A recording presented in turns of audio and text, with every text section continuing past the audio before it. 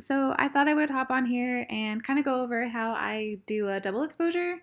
Um, so you can do this actually in camera with some cameras. I shoot on a Canon 5D Mark IV, so I have the ability to do it uh, that way, and it's it's kind of easier. I guess both ways are um, pretty great. Um, if you are doing it in camera and you have both scenes that you want, I would recommend for the second uh, shot that you want to create the double exposure to turn your camera into live view mode and you will be able to see like the first picture that you took so you can get the placement exactly right. And I'm also talking with my hands right now, which is kind of funny. Um, so anyways, so I'm going to show you how we how you can do it in post as well. So to do this, you'll need Lightroom and Photoshop. So I have some images up here. So basically, you are going to click on two photos. I recommend having kind of some like white space. It makes the photos more interesting. And I like to do it with people and like kind of textures that you can find out in nature. So these are all pretty decent to start with. Um, this one's not that great.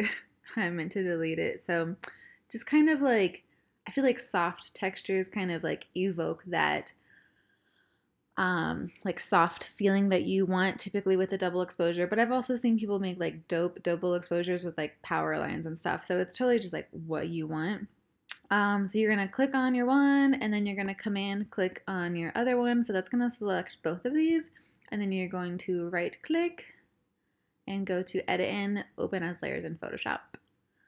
And wait for that to pop up any day now. hmm. There we go.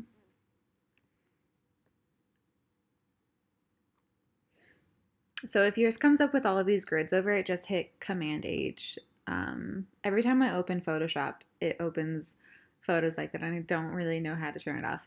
So you can see here, um, uh, this photo is actually cropped, and so if you crop a photo, it's going to show up like that. Um, so you're going to go to your top layer here. You're going to hit screen and then you can basically just move this around to where you want it. You could also go up here to edit, transform. You can flip uh, the texture that you want. Um, if it wasn't like exactly, so like you could do something like that. I kind of like it more the other way. so I'm going to go back. Okay, let's see. There, there, there we go.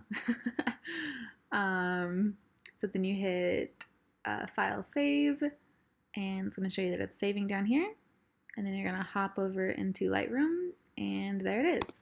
So then you just go in, and if you have a cropped photo, uh, you just go in and crop it.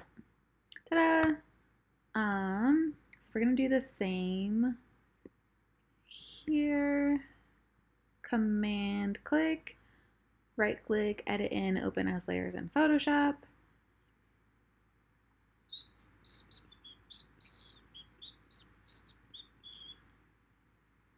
And I recommend editing them beforehand because the merged file that Photoshop sends back is like, I think that it saves as, it's basically not a raw file anymore. Um, so.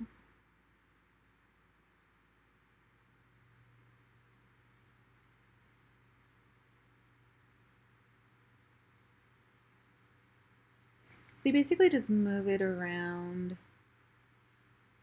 Sorry if you can hear my AC and my fan blowing. Um,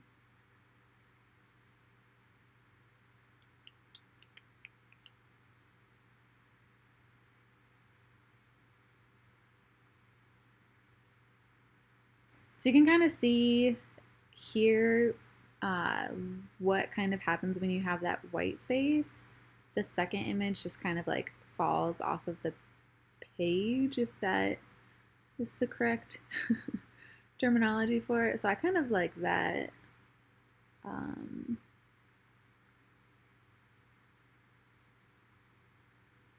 yeah, I think I like that. Um, so file save and saving.